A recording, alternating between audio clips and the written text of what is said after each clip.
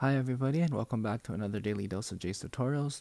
Today we're going to back up our Mac Mini which is on Mojave uh, using Time Machine. So first thing I'm going to do, we want to plug in our external hard drive. USB, nothing fancy. Boom. And then on our desktop I'm going to show you guys that we have the Toshiba EXT which is what I named the external hard drive. Now I am going to do a search for system preferences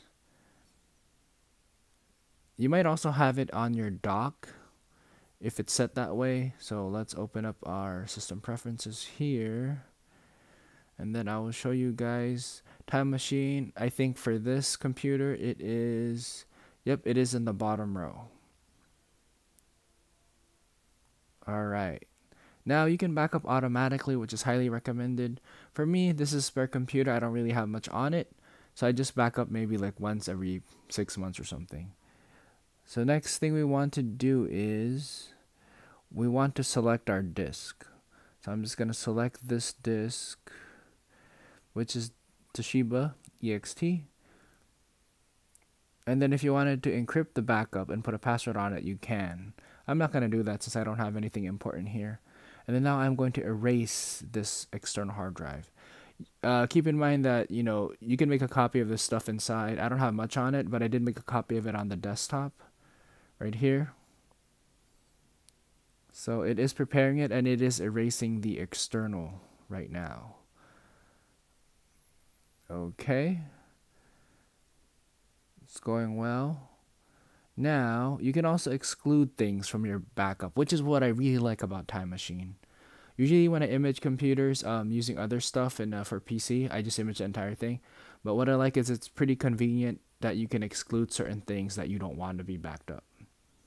I'm just gonna uncheck backup automatically and then let's open it up again and backup now. So on the upper right corner, boom.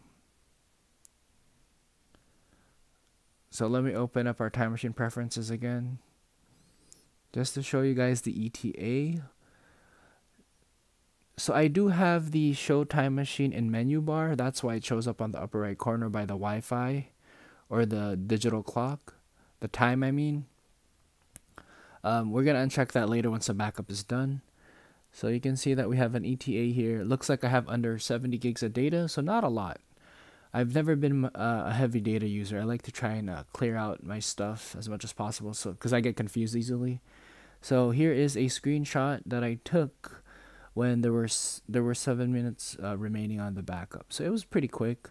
Backup complete notification on the upper right. So we are pretty much good to go. Let me uncheck the okay, that's unchecked already. We are pretty much good to go. So it gives you a time. And another good thing about Time Machine, you know, um, there, I just eject it like that. So the external, the icon change, it's like a Time Machine um, icon. So I just ejected that. Now let me open up the Time Machine preferences again.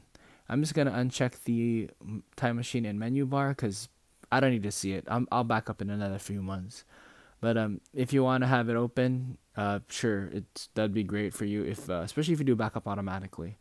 But other than that, that's pretty much all I have. Thank you for watching. Take it easy.